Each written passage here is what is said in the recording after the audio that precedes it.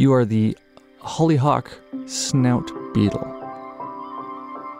named after your big snout and the fact that you're on my hollyhock plant all day, every day.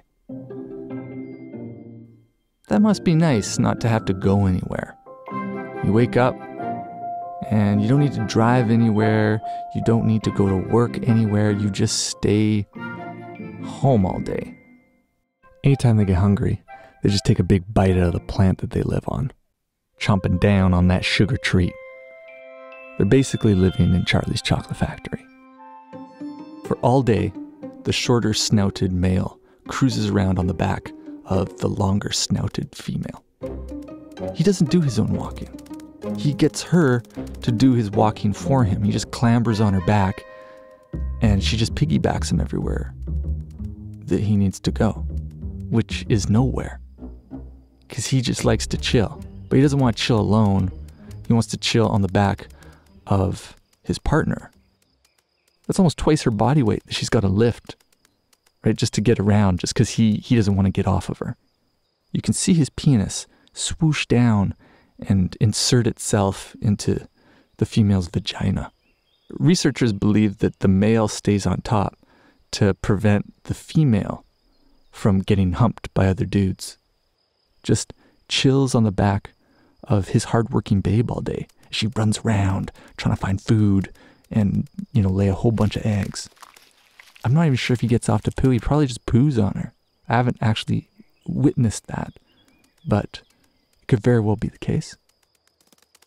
He's just not a respectful little man. Look at this ant biting his girl. What's he doing? Nothing. He's a jealous creep, too. When he sees other beetles having sex, he, he pulls out his squirmy move. Tries to pry the other guy off with his big snout.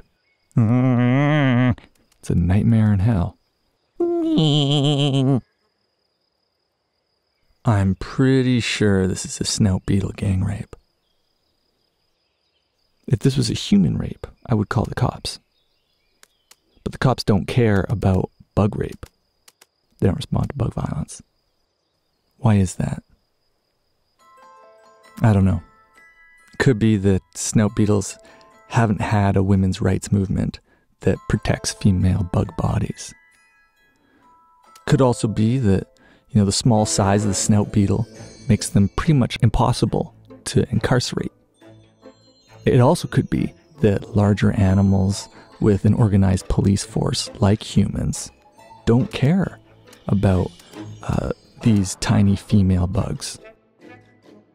Maybe in the future, we'll have the ability to open up the male snout beetle's brain, do some rewiring in there, and ultimately uh, make him a kinder and more loving snout beetle.